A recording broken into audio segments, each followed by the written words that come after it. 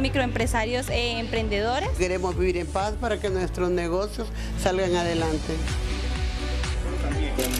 Que sigamos trabajando unidos por un mejor mañana. Me levanto muy temprano para ejercer lo que me gusta. Seguir trabajando para que nuestra Honduras pueda salir adelante. Vivir en un mundo con paz y amor, tranquilidad. Seamos pasivos, que perdonemos, que nos perdonen. Que podamos vivir en paz. Para poder trabajar y salir adelante.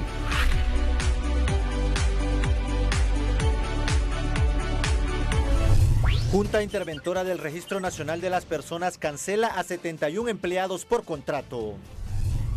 Presidente Juan Orlando Hernández, luego de asistir a toma de posesión en México, se reúne con los mandatarios de los países del Triángulo Norte para tratar temas de la migración irregular. Capturan a tres mujeres por intentar meter drogas y cigarrillos en centros penitenciarios. Con diferentes actividades alusivas a la temporada, venta de comidas y recreación para la familia, inauguran Villa Navideña en la capital.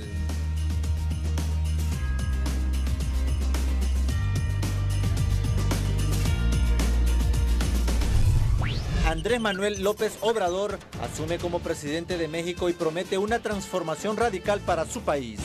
Este es su noticiero hoy mismo fin de semana con Manolo Escoto y Cindy Valeriano. Muy buenas tardes, qué bueno que nos acompañan. Buenas tardes, Cindy. Buenas tardes, Manolo. Estamos listos para iniciar esta emisión noticiosa, saludando a nuestros compañeros con señales en directo en diferentes puntos de la capital, Olman Uclés, y también Francis Espinal en San Pedro Sula, Orlin Martínez. Pero nos quedamos con Francis Espinal porque hoy es el día del locutor. Francis, buenas tardes. Muy buenas tardes compañeros, bueno y me encuentro con los inquietos. Déjenme decirles que no los he podido dejar de aquí tranquilos el día del locutor hondureño Fernando Varela y Carlos Acosta. Muy inquieto, esto es ya tradicional de los locutores. No, lo que pasa es que, hoy estamos en modo party, pues. Estamos en modo party que me imagino, pues, ahí nos tienen los regalitos. bueno, felicidades ante todo, uno de los locutores o los locutores más escuchados. No, no, hay, hay gente que escuchan más, hay gente que escuchan en Estados Unidos. No, mentira, no, este, no agradeciendo, agradeciendo siempre a toda la gente que está pendiente del programa, está pendiente de, del otro fin de semana que vamos con las 29, no, de aquí a dos semanas que vamos con las 29 horas del té, y a todos los que siempre pues, escuchan el programa, que ya tenemos 10 años de estar en esto. Bueno, y es una profesión ya muy popular, por decirlo así. ¿Qué motiva a un locutor o si algún joven que está viendo y dice, yo quiero ser locutor, cuáles son esos retos? Bueno, primero pues eh, es, una, es una experiencia divertida porque no, no es, cada día es diferente, pues. cada día es diferente y eso lo hace eh, como novedoso, no hay monotonía ni nada de eso. Y los medios de comunicación pues es algo cool y la radio pues no digamos porque la Mara pues todas las cosas se la imaginan. Así que no, tampoco imaginé mucho. Pero eh, es así, ¿no? La, de verdad que, que la radio es, una experiencia muy bonita. Esos retos, ¿cuáles son? Uno al menos. Eh, bueno, reto de, como locutor tratar de mantener al, al, a la persona que te está escuchando ahí, sin que eh, como, así como también hay, hay ventajas, está la desventaja que no tienes una imagen o un video que mostrar. Entonces uno de los principales retos es decirle, ok, te vamos a tratar de explicar todo como por voz, o sea, a través del audio.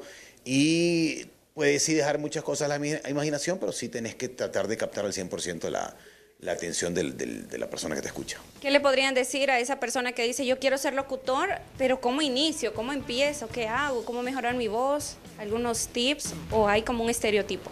Bueno, primero venga aquí, pregunte por Don Naum. No, mentira. Eh, no, no, yo creo que cada quien, o sea, tiene su, estilo, su, feeling y, si ustedes sienten que eso se puede hacer, pues adelante. No, no, no hay por qué frenar el sueño que la gente pueda tener. Así que si ustedes sienten que la radio es para ustedes, pues ahí está el micrófono esperando. Adelante. ¿Cuál evento ha marcado su vida de locutor? Eh, yo creo que fue para mí el más reciente, eh, cuando de la nada nos dimos cuenta que estábamos cumpliendo 10 años. Fue una cosa que 10 años ya hemos, ya hemos metido en esto. ¿De edad ya No, del aire, pues sí, sí, al aire ya, ya más de tres veces más que eso. Pero fue para mí hasta el momento de lo que más me ha gustado, haber celebrado 10 años de trayectoria de algo que yo no esperaba Eh, yo había estudiado otra cosa, Fernando estudió otra cosa totalmente y fue con el tiempo que nos dimos cuenta que nos gusta esto de, de la locución y para mí fueron los 10 años de programa. Para finalizar, ¿qué metas, qué expectativas, qué se viene para la hora del té el próximo año? Bueno, la verdad es que este año, porque en dos semanas tenemos las 29 horas del té, que son 29 horas al aire, así que esperemos que nos sintonicen porque eh, es bien cansado, ¿verdad? Así que uno pues espera que lo estén escuchando porque si no pues a uno le pega más sueñito.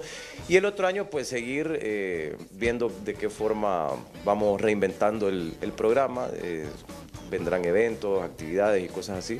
Así que que la gente siga pendiente y que siga en sintonía, no solamente la hora del té, sino que de todo Vox FM y de todo el circuito de emisoras unidas. Bueno, muchísimas gracias chicos, felicidades nuevamente y a todos los locutores hondureños hoy en su día. Vuelvo a estudios principales.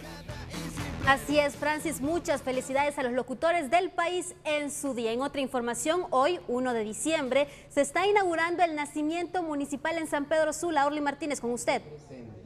Se ponen estas figuras aquí se pone todo este ambiente tan bonito. Cindy Valeriano ha iniciado el protocolo de eh, el inicio de la Navidad, precisamente hoy primero de diciembre a esta hora está pues eh, dando sus palabras el padre Luis Amaya, cuando en breve pues se van a eh, encender las luces de el hoy hoy 1 de diciembre pues precisamente ahora mismo pues ya en breve se van a encender encender las luces de los árboles y también del nacimiento, uno de los nacimientos más grandes. Pues eh, a este evento eh, hemos eh, visto grandes personalidades que se han hecho presente acá. Está la vicealcalde Lilia Umaña, también el padre Luis Amaya. Escuchemos brevemente lo que están mencionando mientras se enciende las luces aquí frente al Parque Nacional y frente a la Municipalidad de San Pedro Sula.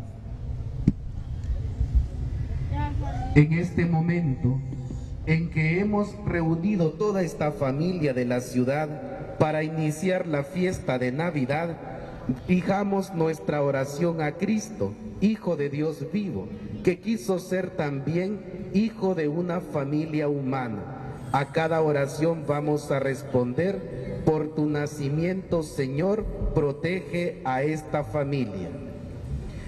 Oh Cristo, por el misterio de tu sumisión a María y a José, enséñanos el respeto y la obediencia a quienes dirigen nuestra familia sanpedrana. Por tu nacimiento, Señor, protege a esta familia. Tú que amaste y fuiste amado por tus padres, afianza en nuestra familia en el amor y la concordia. Oremos. Bien, lo que está pasando a esta hora de la noche aquí en San Pedro Sula frente al Palacio Municipal cuando pues el, el, padre Luis Amaya es el que está discernando a todas las familias presentes. En breve se estará eh, encendiendo las luces aquí del árbol y también del nacimiento. Aquí estaremos presentes para estar llevándole todos los detalles porque también van a haber conciertos musicales de diferentes grupos musicales de San Pedro Sula y de Honduras que han llegado a este lugar. Compañeros, con este informe vuelvo a estudios principales del noticiero hoy mismo. Gracias, Orling. Y siempre actividades eh, de Navidad. En la villa navideña se encuentra Olman Uclés, porque ya está abierta para todos los eh, capitalinos. Buenas tardes, Olman.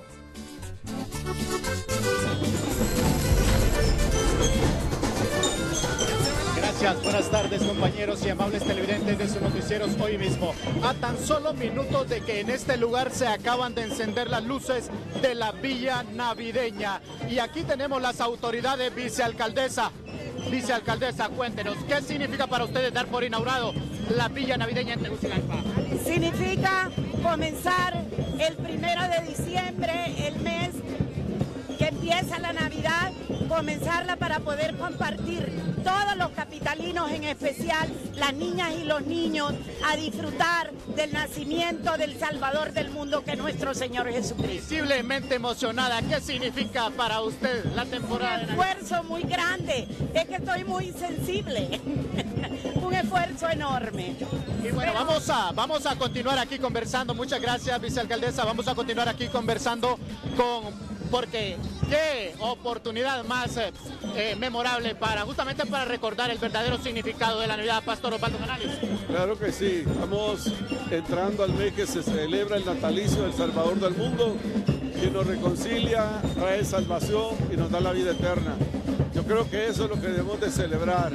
Navidad es una fiesta del Espíritu, donde hay espacios donde esparcirse con la familia. Yo creo que es un buen tiempo para perdonar, para reconciliarnos y celebrar la Navidad espiritual. No esa Navidad comercial que nos frustra por no poder alcanzar sueños. Este, es hermoso estar en esta noche acá acompañando a la corporación municipal. Diciembre, un tiempo para dar amor, un tiempo para compartir. ¿Cuál es el mensaje esencial que se le puede dar a la familia hondureña, pastor? Sí, que nos preparemos no para recibir, sino para dar, porque lo más importante es dar que recibir. Que Navidad sea un tiempo que nos identifiquemos los unos con los otros y que podamos dar amor, paz, afirmar palabras de aliento, palabras de esperanza, porque hay un sector de la población que está frustrado, tienen temor, tienen miedo, a ellos hay que acercarse. Es tiempo de amar, tiempo de perdonar y tiempo de estrechar la mano de la familia hondureña. Eso es correcto, tenemos que, que acercarnos los unos con los otros, somos hermanos nacidos en una misma nación, tenemos que respetarnos, ayudarnos y apoyarnos mutuamente. Entonces, oportuno llamado para la población capitalina para que vengan a este lugar. Claro, como en otros lugares, que son como cinco que hay, que salgan y que vengan con su familia y que eh, será un tiempo de compartir. Pues gracias, gracias al pastor Osvaldo Canales, eh, amables televidentes, compañeros de sus noticieros hoy mismo. Con estas bonitas imágenes y con este tremendo ambiente navideño aquí, y valga la redundancia, en la Villa Navideña en Tegucigalpa, nosotros vamos a despedir este contacto desde aquí, desde el Boulevard Juan Pablo II. Retornamos a los estudios de hoy mismo. Gracias, Solman. Una buena invitación entonces para todos los capitalinos a que puedan asistir a esta villa navideña. Otra invitación que le queremos hacer a las 7 de la noche se juega la semifinal entre Olimpia y Real España. ¿Cómo estará la seguridad, Alex Laínez? Adelante.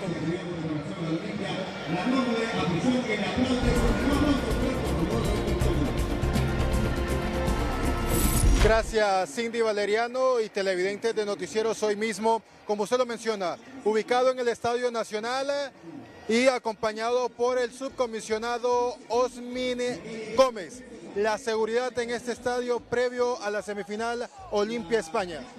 Sí, eh, muy buenas tardes, pues estamos eh, preparados pues para poder disfrutar de esta fiesta deportiva que eh, tienen preparada pues estos equipos. invitamos pues a los aficionados que puedan acudir o puedan ingresar para disfrutar este partido eh, tenemos pues la seguridad por parte de los cuerpos de seguridad instalada eh, para que eh, a través de, de, estas actividades pues ellos puedan disfrutar, acalorar también a su equipo y de la mejor manera el comportamiento entre las barras para que esto pues sea una celebración y que todo salga pues de, de la mayor manera posible, paz y tranquilidad nos repite los anillos de seguridad previo al ingreso. Hemos visto que eso ha sido riguroso. Sí, eh, bueno, tenemos estratégicamente eh, eh, una, una, un dispositivo de seguridad de cinco anillos, valga la redundancia, que están pues establecidos en lo que es el primer anillo en lo que es pues la, la pista, para la cancha, para la seguridad de los equipos, de los árbitros y también tenemos un segundo anillo que es en... Eh, con... Dicen los merengues y somos la sensación. Movemos la pelota y eso gusta la afición. Si entramos a la cancha nos comienzan a... Muchas gracias eh, Alex eh, Laínez. Pues ahí está la invitación para que vayan al Estadio Nacional.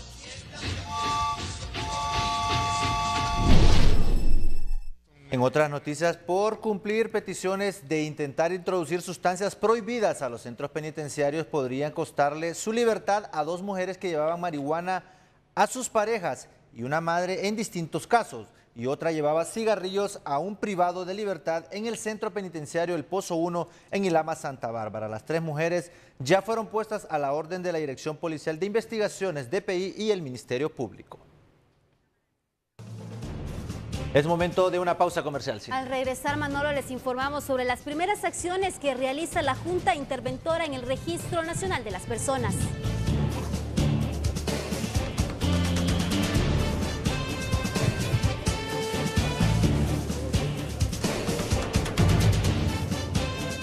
Con el permiso de las familias dolientes, les queremos informar sobre las primeras acciones que está realizando la Junta Interventora en el Registro Nacional de las Personas. Gracias compañero. Nos acompaña en ese momento el ingeniero Rolando Catán, él es el jefe de la Junta Interventora del Registro Nacional de las Personas. Ya se notificaron las primeras suspensiones de labores en esta dependencia. Cuéntenos, ingeniero. El- para el 31 de septiembre, cuando llegamos, eh, quitamos la, la renovación de 61 contratos por hora. Para el 30 de noviembre eh, llegaron a su término 100 contratos al término y, no renovaremos contratos al 31 de diciembre por 44 contratos al término y 101 contratos eh, por hora. Además, eh, se ha separado de la institución eh, con el agradecimiento de las funciones que han desempeñado y, y conscientes de- del pago pronto de todos sus derechos laborales, 11 plazas estratégicas que serán lanzadas por concurso la próxima semana. Puntualmente, ¿hay personal supernumerario en esta institución? ¿Cuánta gente se podría decir que está sobrando? Bueno, lo que vamos a hacer nosotros es trabajar con las plazas que la institución tenía. Había aproximadamente 1.800 eh, funcionarios en la institución, pero como vemos 300 eran por contrato. Eh, eso nos lleva a un número de, de 1.500. De esos 1.500, 900 están repartidos en el territorio nacional. Eh, queremos eficientar ah, la fábrica eh, de tarjetas de crédito y hacerla una, una fábrica netamente eh, técnica. Hemos llamado a todas las personas que tienen funciones diferentes a las plazas por las que fueron contratadas que cumplan las funciones establecidas. Pues bueno, este es el informe a esta hora, compañeros. Con ustedes al estudio de hoy mismo. Gracias, Olma. Francis Espinal nos cuenta la historia de Roger Murillo, un ejemplo de vida. Veamos.